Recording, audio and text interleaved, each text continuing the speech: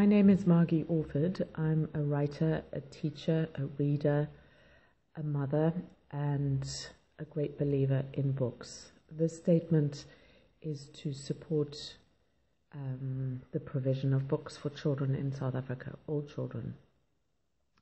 Books are to education what oxygen is to life. Without books, there is no learning, no knowledge, no understanding, no empathy. A book is a wonder. It's the distillation of what we know and how we live together. It is outrageous to think that just because a child is poor, they should be cut off from books, the lifeblood of our shared community.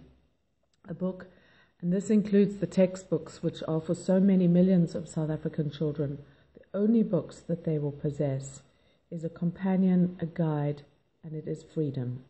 A book, a textbook, gives a child the autonomy they need to study and read at their own pace.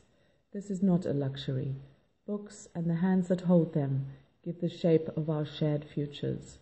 To deprive children of books, to which they have a right, is tantamount to depriving those same children of food.